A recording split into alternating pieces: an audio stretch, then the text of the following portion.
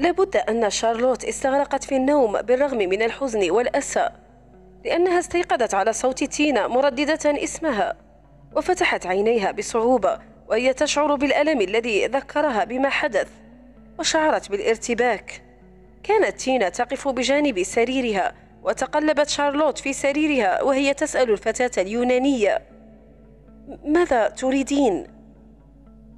ولم يخفى على تينا وضع شارلوت أو وضع سريرها ولكنها أجابت برقة.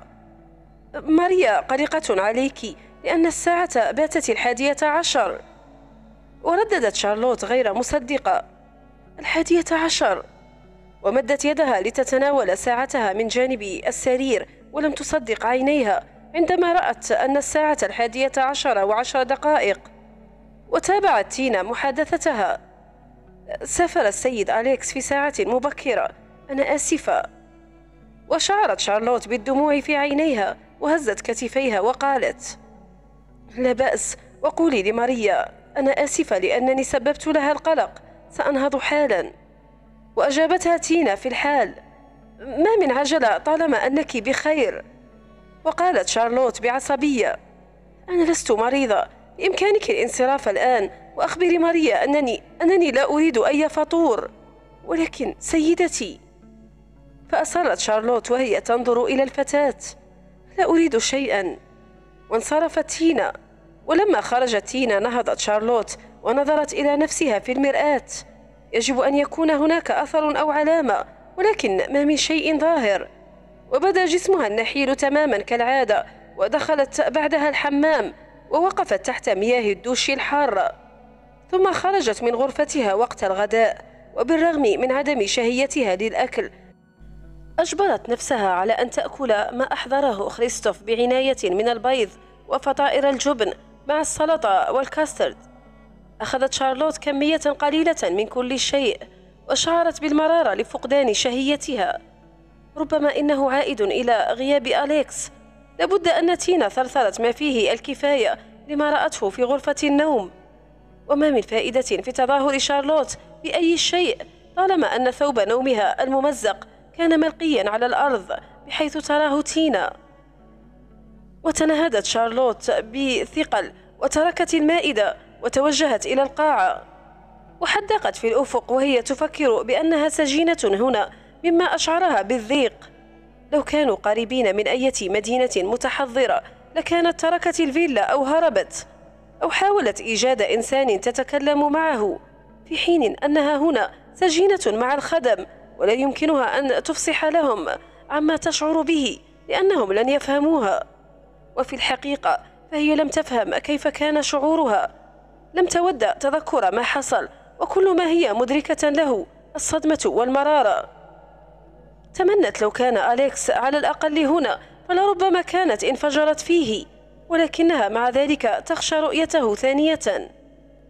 وأمضت الساعات المتبقية من ذلك اليوم الذي بدا غريبا وهي تذرع غرف ودهاليز الفيلا رواحا ومجيئا. غير قادرة على الاستقرار أو التفكير بأي شيء غير الذي حصل. كيف سمحت لنفسها أن تشعر بأية عاطفة تجاهه أو أن تهتم بما حصل به؟ ولكن يجب أن تعترف حتى ولو لنفسها أنها هي السبب الغير مباشر فيما حصل وهذا كان أصعب ما في الأمر. وفي بعد الظهر من ذلك اليوم وصلتها رسالة من جدة أليكس. كانت مختصرة ودعتها إلى الغداء في اليوم التالي. يعني حامل الرسالة سيحضر لينقلها إلى منزل جدة أليكس. كانت أكثر من دعوة بل كانت أمرا بالمجيء. ولم يخطر لشارلوت أي عذر معقول يمكنها من رفض الدعوة فقبلت على مضض وهي تتذكر نظرات العجوز وتصرفاتها المسيطرة.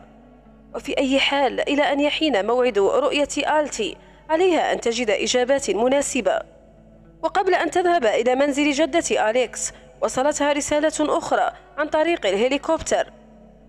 شعرت بالقلق والارتباك عندما سمعت صوت الهليكوبتر فوق الفيلا. ولما كانت استيقظت باكرا في ذلك الصباح وطلبت طعامها في غرفة الطعام تمنت لو أنها بقيت في غرفتها وقد عاد أليكس الآن فجأة. وسمعت صوت الخدم يتهافتون لدى هبوط الطائرة. ولا بد أنهم استغربوا أنها لم تنهض لتستقبل زوجها. ولكنها شعرت بارتخاء في ساقيها وبقيت مستمرة في الجلوس. وسمعت صوتا خشنا بين صوت النسوة يتكلم باليونانية بطلاقة كان الصوت مألوفا لدى شارلوت ولكنه لم يكن أليكس. وشعرت شارلوت بالارتياح ودخلت ماريا إلى القاعة يلحقها جورج وصعدت ماريا الدرجات إلى حيث غرفة الطعام. فوقفت شارلوت بعصبية منتظرة جورج الذي حياها بأدب. وأجابته مرحبة باليونانية ثم ألحقته بسؤالها أين أين هو؟ أه هو أتعنينا أليكس؟ وكان يقف جورج في الجهة الثانية وتابع قائلا ليس معي إنه في نيويورك كما تعرفين وقطبت شارلوت قائلة ولكن أنت أليس من المفروض أنك معه في نيويورك أيضا؟ كنت ذاهبا معه ولكن تغيرت خططنا عندما وصلنا إلى أثينا وكان على أليكس أن يسافر بمفرده إلى نيويورك لوحده. وبدت وكأنها تتهمه فابتسم جورج وقال لا ضرورة للقلق يا سيدتي. أليكس لا يبقى وحده على الإطلاق. ديمتريوس معه. ولامت شارلوت نفسها على ردة الفعل التي أظهرتها لكنها عللت الأمر بأنها ستشعر الشعور نفسه تجاه أي إنسان يجازف بلا ضرورة. وأجابت بسرعة وقد ضايقتها المعرفة في عينيه. كل ما أعنيه أنني أستغرب كيف يمكنه تدبر الأمر بدونك. وتابع قائلا حسنا كنت أقول لك أن مخططاتنا تغيرت واتفقنا على أن أبقى أنا في أثينا حتى يتصل بي أليكس ويعطيني تعليماته. وجلست شارلوت وقالت وقد اتصل بك الآن. وأومأ جورج وقال نعم وطلب مني إخبارك أنه لسوء الحظ فإن فإن الرجل الذي كان يعمل لصالحنا في المناقشات دخل المستشفى لاحتمال انفجار في الطحال. وهذا مؤسف يا سيدتي لأنه في غيابه يبقى أليكس هو الوحيد الذي يمكنه التصرف في الموضوع. فهزت كتفيها بعدم اهتمام في حين تابع جورج قائلا ولذلك يجب أن يبقى في نيويورك حتى تتم الصفقة. لم تكن تعلم ماذا تتوقع بالضبط ولكنها شعرت بالتشوش نتيجة لكلام جورج. وكانت تحدق بجورج بدون أن تراه وحاولت أن تتظاهر بالطبيعية وقالت آه فهمت الآن. لماذا لا تجلس يا سيد جورج؟ وقرعت الجرس وتابعت. تينا ستحضر لنا القهوة. وجلس جورج في مكان أليكس المعتاد وقال أنا آسف أن أكون حامل الأخبار السيئة. وتظاهرت شارلوت بعدم الاهتمام وطلبت القهوة من تينا بينما حاولت إنهاء طعام فطورها ولكنه كان من المستحيل أن تفعل في حين أن عقلها ومعدتها في حالة ثائرة. وعندما أحضرت تينا القهوة لجورج مع بعض الفطائر أخذ يمازحها بسؤالها عن صديقها ثم تركت الغرفة ضاحكة. وكان من الواضح أن جورج يتصرف كأنه في بيته ولكن بالرغم من عدم وجود سبب لضيق شارلوت شعرت بالضيق لطريقة تعامله مع الخدم. وأكثر من ذلك لافتراضه أنها تفتقد زوجها. وكانت رغبتها قوية بأن تخبره أنه حتى لو قرر أليكس أن يمضي الشهور السنة المقبلة في نيويورك فهذا لن يعنيها. ولكن بدا لها نوعا من الطفولية بالإضافة إلى أنه ليس صحيحا مئة بالمئة فلو بقي بعيدا آلاف الأميال كيف ستنتهي من حياتها هنا؟ قررت ألا تتهور بالكلام وأخذت تجيب جورج باقتضاب عندما سألها عن رأيها بالجزيرة ووجدت نفسها تبادره الحديث بشكل تلقائي قائلة أنا هل أنت ذاهب إلى نيويورك أيضا؟ نظر إليها وأجابها لماذا؟ هل عندك رسالة لزوجك؟ فتنفست شارلوت بعمق وقالت لابد لا لا لا يوجد عندي رسالة. وتردد جورج وهو يقول هل أنت متأكدة؟ ووقفت شارلوت وأجابته بالطبع متأكدة. وأطرق رأسه متوجها نحو الدرج وقال حسنا سيدتي ولا شك أن زوجك سيطلعك على آخر التطورات لدى حدوثها. فأمسكت شارلوت بالمنضدة وقالت كم كم من الوقت يتوقع أليكس أن يتغيب؟ وقتا طويلا. فهز جورج رأسه وقال في هذه الحالة ثلاثة أسابيع أو أربعة لا أعلم يتوقف إلى أين توصل ستينر بمحادثاته. وعملية الاندماج هذه هل هي مهمة؟ آه بالطبع سيدتي. ولكن لماذا؟ لماذا؟ ألا يكفيه ما عنده من المال؟ اندماج الشركات لا يجلب المال على الأقل ليس بالطريقة التي تعنينها هذه المحادثات ستنتج ستنتج شيئا أهم بكثير ستخلق الأعمال لعدد كبير من الناس عمل نعم عمل هذه الشركة في نيويورك مفلسة وشعرت شارلوت بالتشوش وقالت ولماذا يريد أليكس أن اندماج مع شركة مفلسة؟ وحاول جورج أن يكون صبورا وأجاب. صعوبة الوضع الاقتصادي يسبب في إفلاس العديد من الشركات. ولكن في هذه الحالة هناك ترخيصات قيمة بالاستيراد والتصدير نستطيع استعمالها. وبالتالي فالناس الذين يعملون لهذه الشركة لا يخسرون وظائفهم. وتنهدت شارلوت وقالت لم يخطر لي أن أليكس قد يهتم على أي حال. احتبس نفسه وقال زوجك يهتم وهو يهتم بكل إنسان في عمله. ولماذا تظنين أن أعداءه كثر إذن؟ لأن موظفيه يحبونه وهذا ما يتمناه الكثيرون من الرجال. وشعرت بالخجل لانفجار جورج وبوجوب الدفاع عن نفسها وقالت أنا أنا أعرف القليل عن أعمال زوجي وموظفيه. فتابع جورج وهو يستند إلى المائدة. سيدتي عندما قتل والد زوجك نزلت أسهم الشركة شركة فولكنر بشكل رهيب. وهذا طبيعي. ستيفن فولكنر كان ذكيا جدا وكان أليكس لا يتعدى الرابعة والعشرين من عمره شابا صغيرا. صحيح أنه تدرب على الاقتصاد ولكن هذا كل الشيء. ومع ذلك خلال خمسة عشر عاما لم يكتفي أليكس بتحصيل أرقام والده وإنما تجاوزها. وبذلك حصل على احترام كل من في العمل. كنا شركة كنا شركة شحن والآن عندنا مصالح في فنادق وشركات طيران ووكلاء سفر وبترول وجرائد يومية. هل تعلمين كم عدد موظفينا؟ وتكتفت شارلوت وقالت أو لا لا قلت لك أنا لا أعرف شيئا عن أعمال أليكس لا علاقة لي بذلك. فأجابها بحدة. إذا يجب أن تهتمي أكثر. فتوسعت عينا شارلوت بكبرياء فأضاف جورج قائلا أنا آسف ولكنني كنت أعمل عند ستيفن فولكنر وكنت معه يوم مقتله. لحقت به عندما خرج من الفندق في باريس حيث أطلق عليه الرصاص.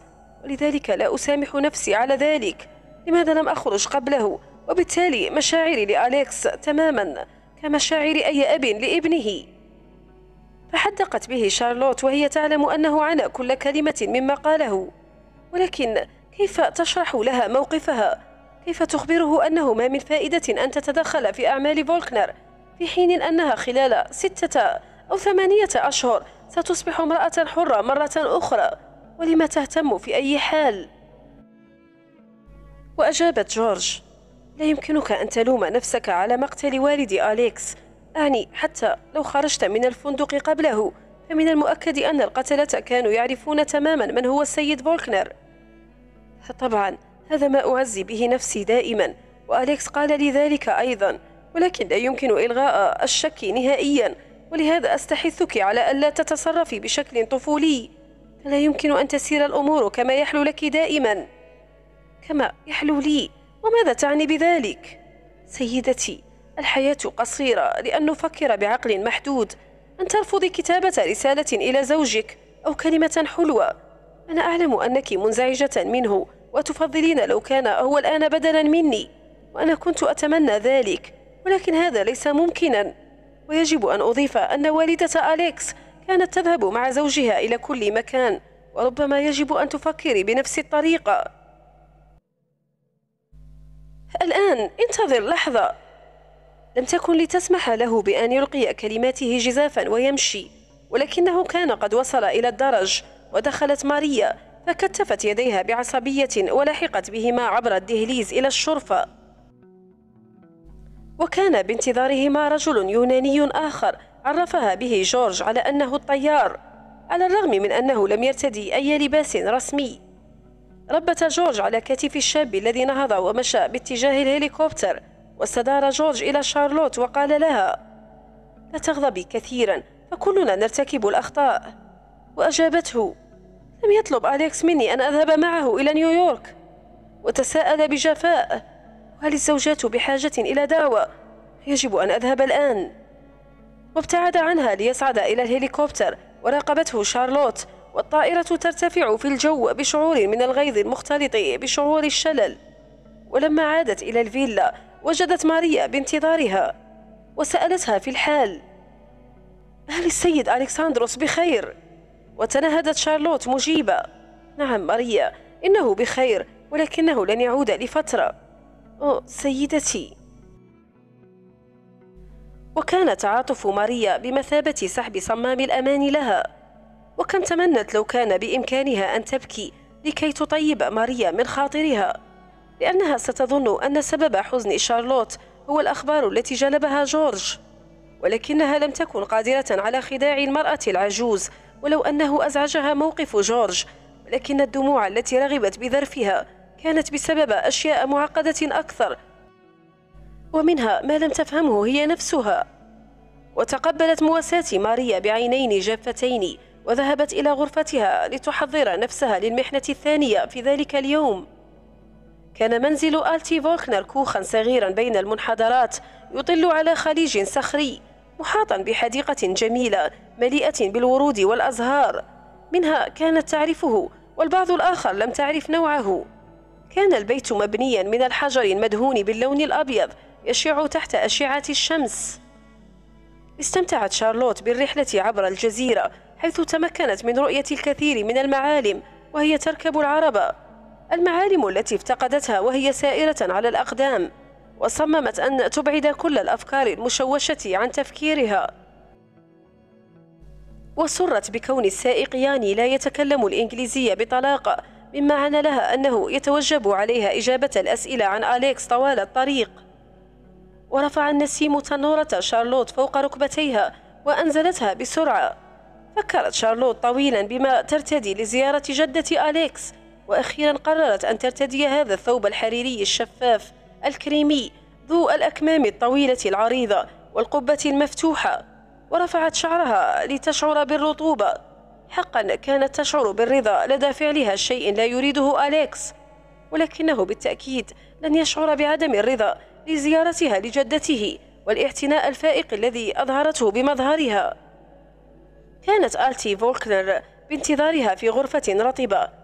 رفقت شارلوت الخادمة العجوز ذات النظرات المتفحصة الودودة المحبة للاستطلاع. وخطر لشارلوت ولم لا طالما أنها كنة آلتي. كانت جدة أليكس ترتدي أيضا اللون الأسود كالمرة السابقة ولكنها وضعت مريولا أبيض ووقفت في غرفتها الصغيرة المكتظة بالأثاث بكبرياء الملكة التي تتلقى مواطنا عندها. كانت الغرفة مليئة بالكراسي العالية والصغيرة والموائد والخزائن وخزانة ضخمة مليئة بقطع الزجاج الغالية وبادرتها آلتي إذا قدمت لماذا لم تعلميني أن أليكس غادر الجزيرة؟ وتململت شارلوت بعدم ارتياح وأجابتها أظن أنني لم أفكر ألم يعلمك هو؟ حسب ما فهمت إنه غادر بسرعة فكيف يمكنه إعلامي؟ فهزت شارلوت كتفيها محاولة عدم الارتباك وقالت أنا آسفة. لا بأس. اجلسي. اجلسي. وسنتناول بعض المقبلات قبل الغداء. وجلست شارلوت على طرف الكرسي الخشبي وقدمت لها آلتي عصيرا محليا ولكنه لذيذ الطعم. وبادرتها السؤال وكيف تجدين الحياة بدون صحبة أليكس؟ وحيدة. لا بأس. في الحقيقة وصلني خبر منه هذا الصباح. من جورج أعرف ذلك. أنت تعرفين. طبعا فقد أتى لي عندي قبل أن يذهب لرؤيتك وجلب لي رسالة من ألكساندروس فهمت الآن. ولم ترتح شارلوت لهذا. إذا أليكس يستطيع أن يكتب رسالة لجدته ولكنه عاجز على أن يكتب لها.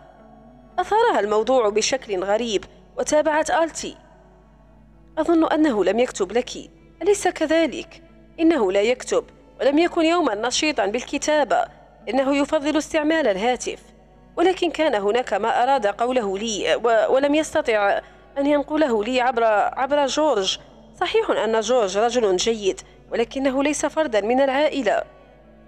وشربت شارلوت من العصير وقالت وهي تؤكد للمرأة العجوز.